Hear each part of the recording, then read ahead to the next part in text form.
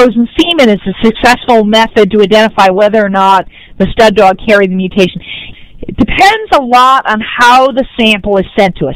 If they send us a frozen straw, or even it's thawed but it's still in the straw, that is usually pretty good. We can usually get that. But sometimes what either the clinic that has the semen or, you know, various places have done is put the semen in a plastic vial and send it, and sometimes it's been moldy when it got here. Um, people have put the semen on a Q-tip, thinking that the Q-tip is sort of like the swabs we use for the buccal swabs to get the DNA, and then the semen gets soaked into the Q-tip and we can't get enough of it out of it.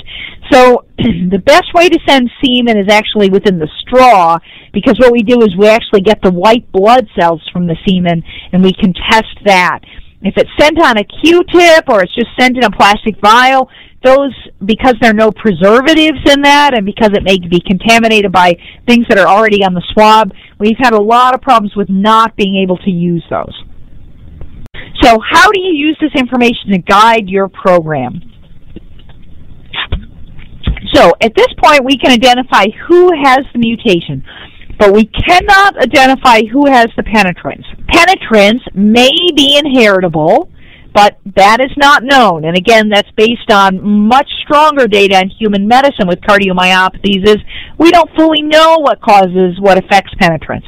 But a starting point might be at least looking at the family history.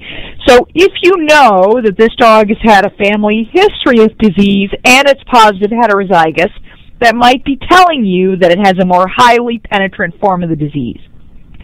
The test is a tool. It's, it is not uh, the type of thing that should be as a black and white test in that anything that is positive should be removed from a breeding pool.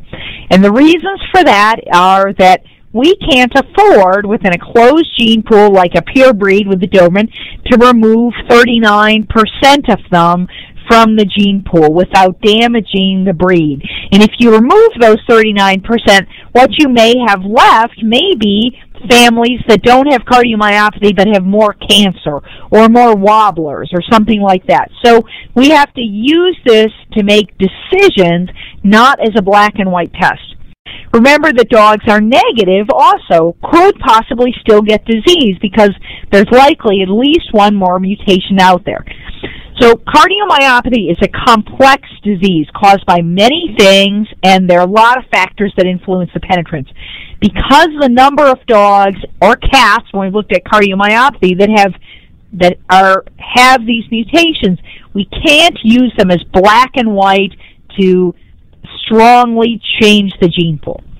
If your dog is negative, I would say because there is going to be at least one other mutation out there that you need to continually test, still test with an echo and a holter.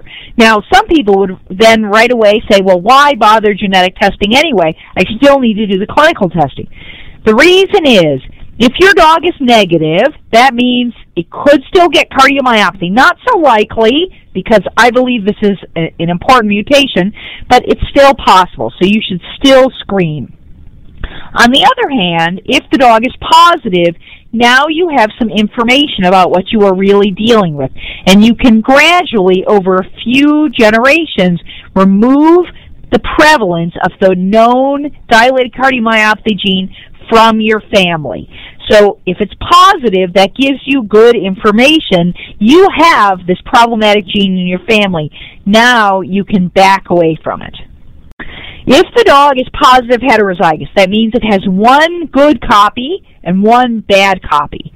So now, instead of just saying, okay, this dog is positive heterozygous, I can't use this dog, ask yourself some questions about how you're going to use this information. Does this dog have a family history of dilated cardiomyopathy? If yes, that means that this dog may have a higher penetrance of this mutation, and that's another strike against it. So that's another reason maybe you don't want to use this. Are there other questionable echocardiographic or Holter findings?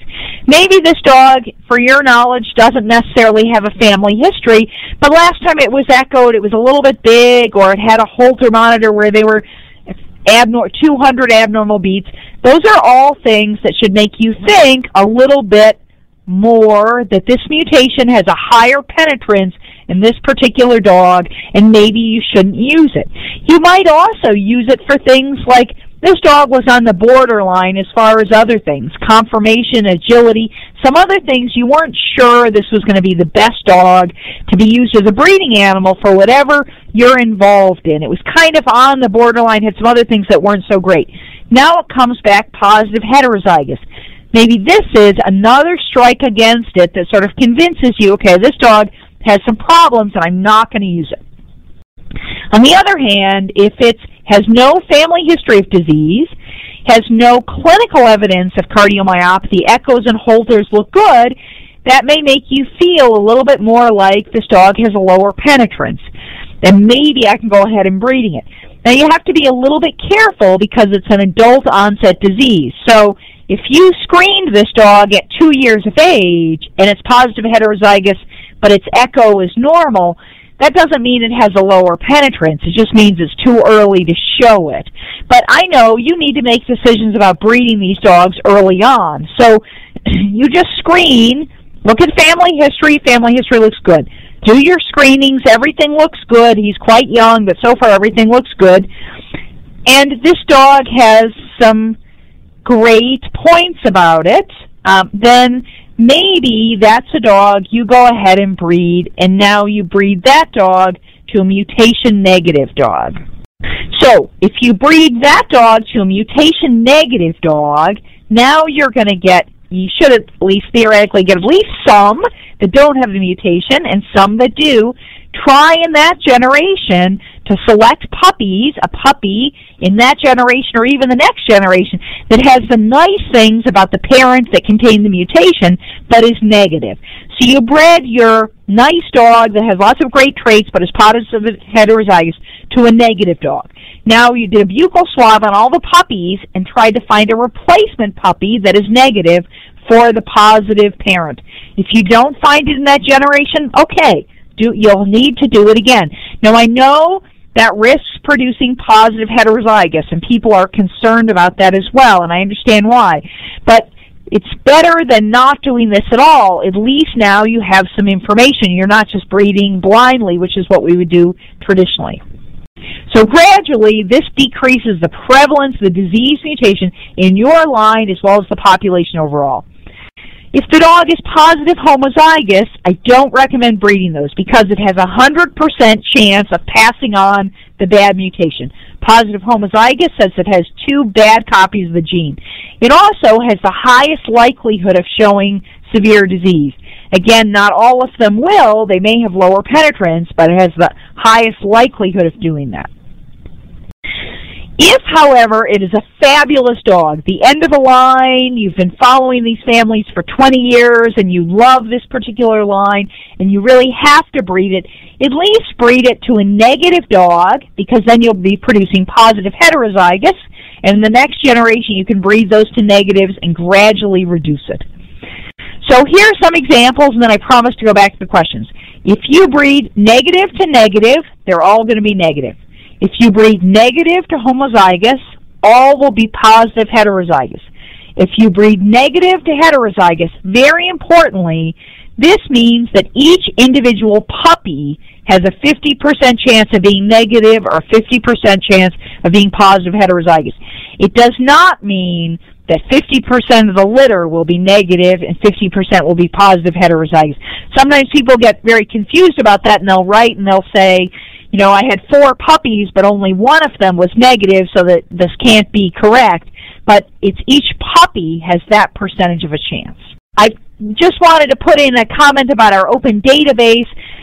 We are working very hard to put um, the animals that you have asked us to on the open database as quickly as possible. Um, and we have to type them in ourselves as I kind of mentioned before, we have pretty limited funds. We, the university, nor um, taxpayers, no one else pays for the work we do. We, the university allows us to run the test, but only if it covers its own cost. So the university does not give us any money to buy equipment or computers or staff Amy to help enter the samples or process samples, anything. They're not allowed to because the state taxpayers have better uses of their money than funding this type of work right now. So we work on a very limited budget. They allowed us to set the price of $51 for volume and $60 for individual, but they also don't allow us to make money off of it because the university can't be a profit center.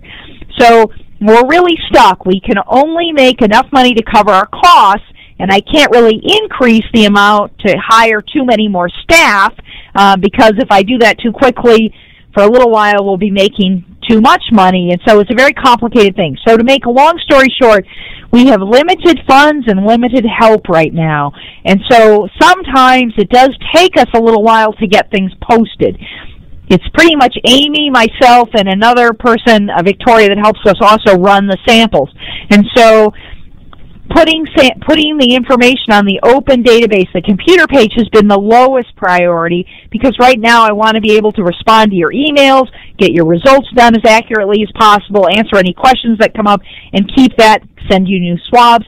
So the database, we often are behind, but, but that's why. Um, as time goes on, we'll get a little bit more caught up and we'll be able to do that, but we're, we run on really a pretty much of a shoestring uh, budget right now. So that, that's a, a little bit, that's one of the reasons that it's taken us a little longer. Um, and as always, I want to thank uh, Mrs. Roberta Brady, who's no longer with us, but but um, was a very important aspect of the study, and her encouragement meant a lot to us. So I'm, I'm just going to leave her picture up there, um, and I'll answer the rest of the questions here. So here's a question that if they've been doing annual Holters and echoes, would it be beneficial for us to have that information even if the PDK uh, test was negative? Sure, um, it would be nice to, if you have it and want to send it along, that's fabulous.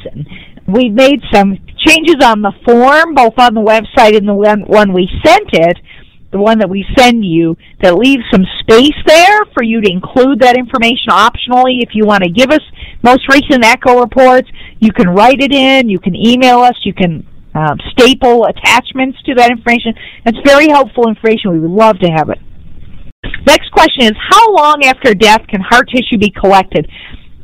Unfortunately, for this part of the um, study that we're working on, really, if it's been even longer than an hour, it's probably it may be too late. So it works best um, if someone, again, unfortunately, I don't want to wish anybody uh, um, you know, has, is going downhill. But if a veterinarian is euthanizing it, and then right after they've euthanized it, if they just take a couple of samples and send it to us, they don't need to do a full autopsy, but just a couple of samples. But if it's been dead for a day, even if it's been in the refrigerator or even a few hours, the protein breaks down so quickly that we're not able to use it. If I were a Doberman breeder, how would I handle the sale of homozygous positive puppies for the mutation? You know, um, I I think that it's a little bit tricky, and you guys have a much better sense of how you've talked to breeders about other health problems as well. I think what you can say is that there's recently been a discovery that test dogs for a mutation that causes um, this particular cardiac disease, and that um, this dog actually has two positive copies of it, and